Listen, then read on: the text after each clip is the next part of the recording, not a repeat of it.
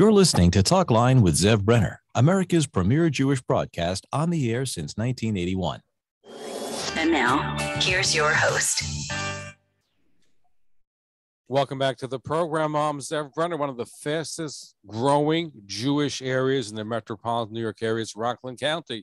So we're seeing a lot of growth. We see a lot of anti-Semitism. We see some lot of potential. Whenever I think of Rockland County, I think of Yossi Gestetner because he is the co-founder and executive director of OJPAC, the Orthodox Jewish Public Affairs Council. Yossi, good to have you back again.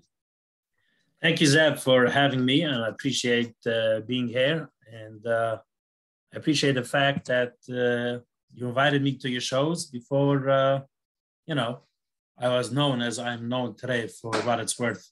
Well, when the media looking to do something with Hasidic Jews or Orthodox Jews, and especially Rockland County. But beyond that, they say Yossi Gestetner is on the Rolodex. I'm dating myself by saying Rolodex, but they know where to find you. So I invite you for two reasons, Yossi one hand is a little bit more positive development, one's a more negative one. And that let's start with the negative one because I seen releases that the local Rockland newspaper had an article where they had about a powerful rabbi who's controlling the purse strings. Didn't mention his name, but they, they also the typical canards against Jews that the Jews are controlling everything, they're controlling the money. Give us an idea because it's not the first time that Rockland Journal News Lohud has done things which have really attacked the Orthodox community. Yeah, so um, the name of the paper, as you said, is the Rockland Journal News. Uh, the headline, I mean, the URL on the website is LOHUD. LOHUD is for Lower Hudson Valley because Rockland County is obviously in the Lower Hudson Valley here in New York.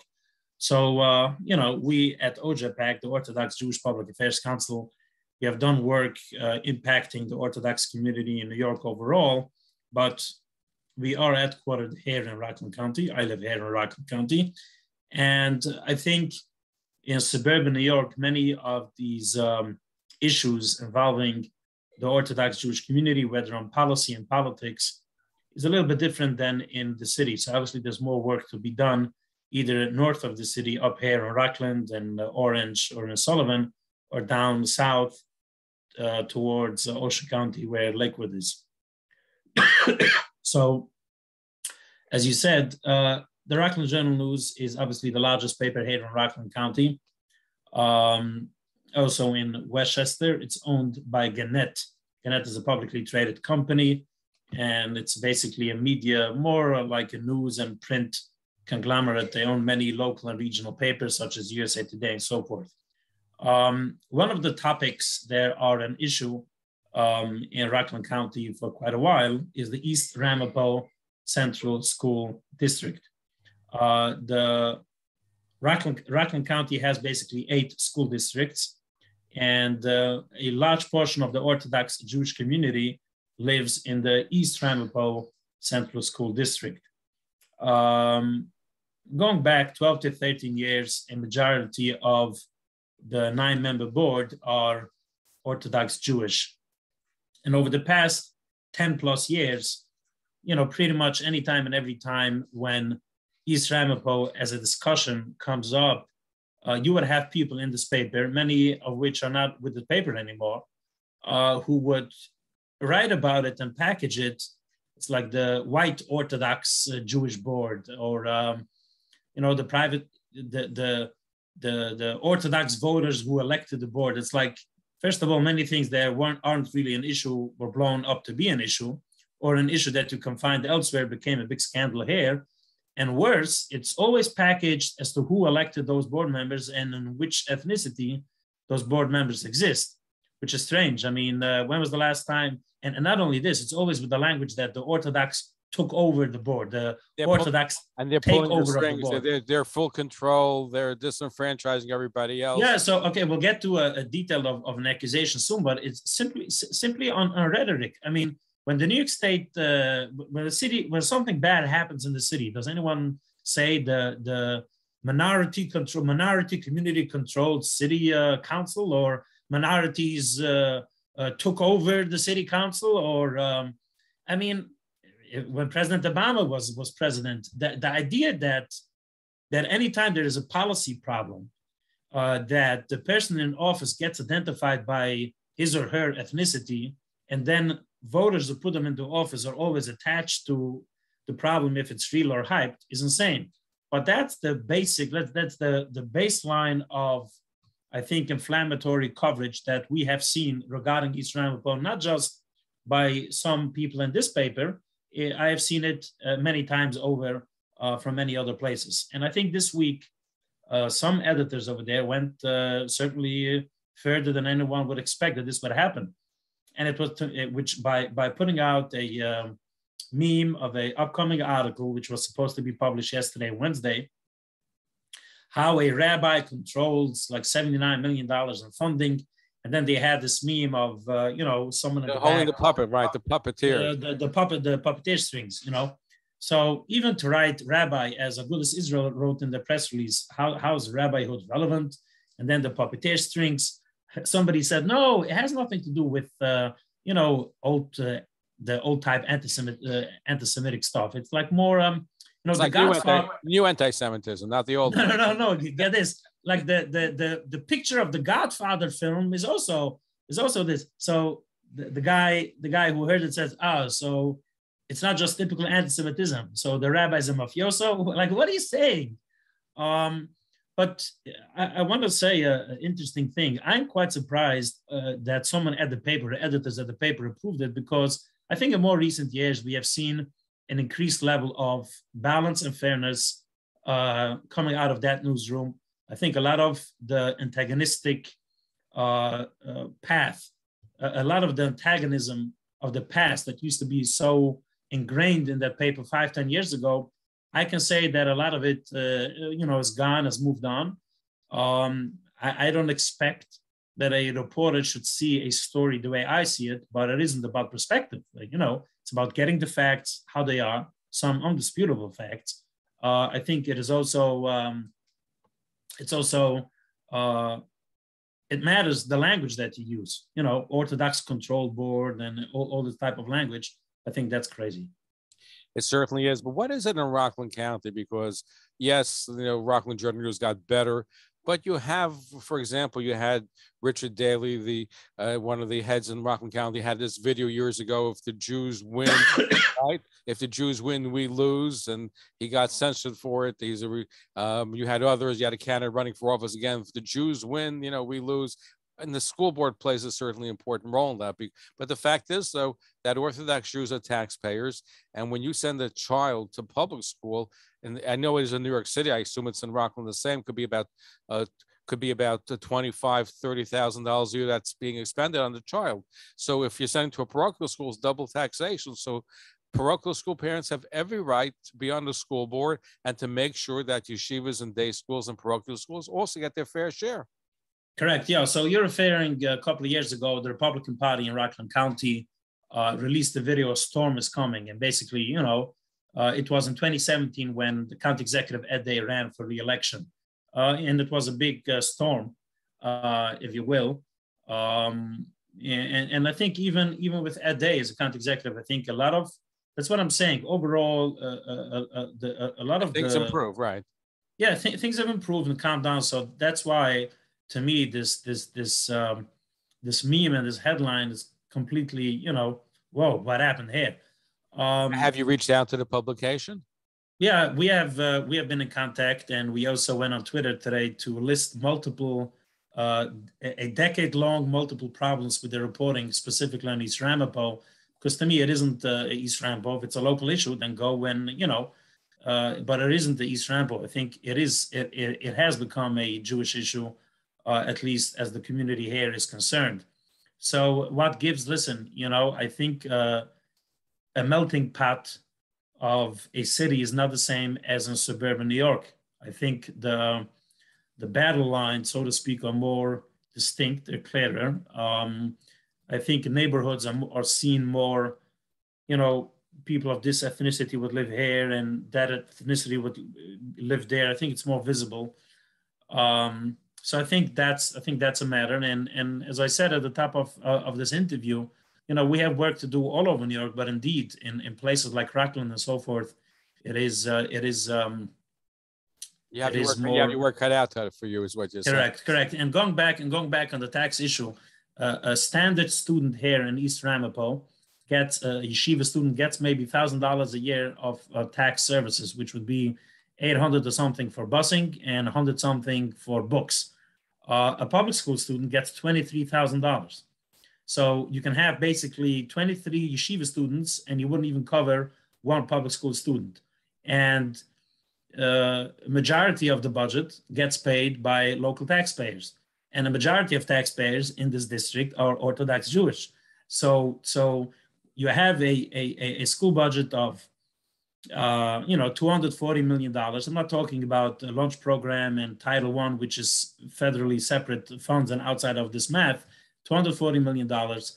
Uh, more of uh, uh, more more than half of this amount is from local taxpayers. A solid majority taxpayers here are from within the community. So nobody's complaining that the public school gets funded, but then to then turn around and uh, suggest, yeah, pay your taxes, but don't get any benefits because let the public school kids get all the benefit, and that's what they're really saying. And yeah, but correct, but but uh, I'm saying even more. It isn't about it isn't about the public school not getting what it is required by law. They're getting, but, but it's disenfranchising the yeshiva kids. Abs- exact, exactly. I mean, I mean, people forget how this started 15 years ago when taxes used to go up uh, continuously. Busing service were a disaster. Special ed services were a disaster uh, uh, there wasn't any consideration for for uh, um, um, you know customs and religion and so forth.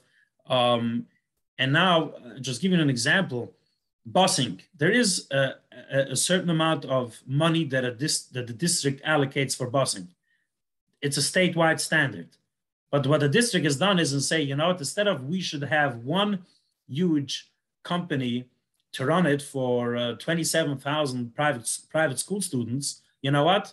Each student has an allowance. You have what, 100 students?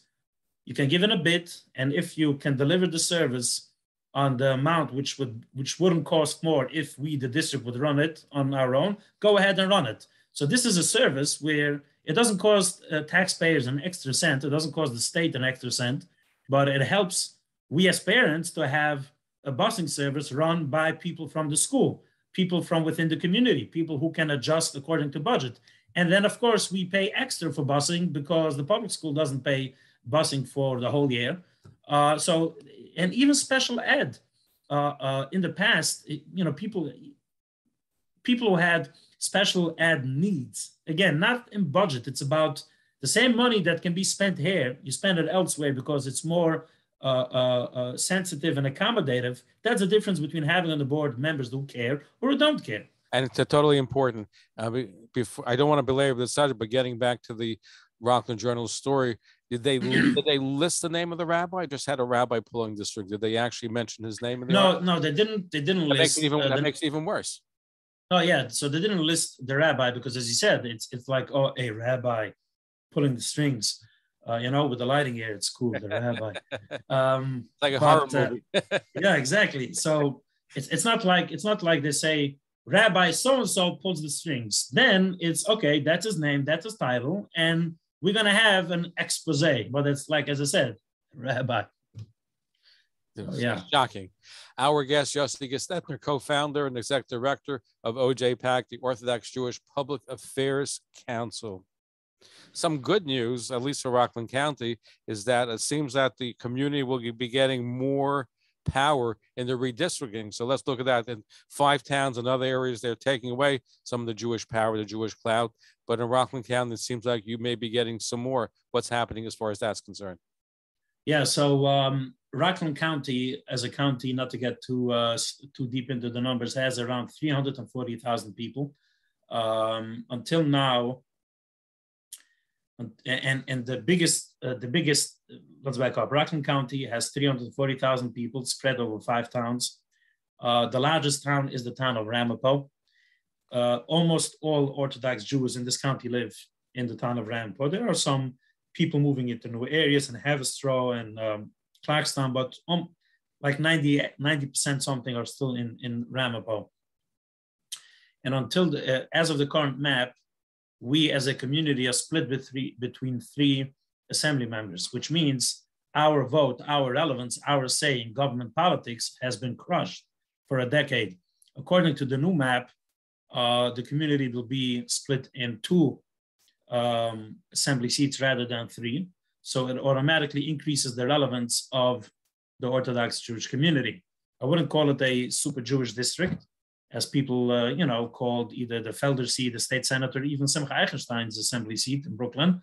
But it's a district which is more Ramapo than it used to be, and it has more members of the Orthodox community used to be. So I think uh, this potentially changes the dynamic for, uh, as of now, the assembly member is Mike Lawler, a Republican. He is, uh, you know, very energetic, very friendly. He's on the ground. Constituent services are amazing. But on the other hand, he's a Republican where the Republican Party has only a third of the seats in the assembly. So laws get shaped and policy gets shaped in the majority, not in the sub minority. So I would think that uh, due to the changing uh, map lines, there will possibly be a, um, a strong candidate potentially from within the Orthodox community to run as a Democrat. And you know, saying it, saying it, I'm saying it here on the record, um, not because there is an issue with Mike as a person or as a candidate or as an elected official. To the contrary, he's very hands-on, active.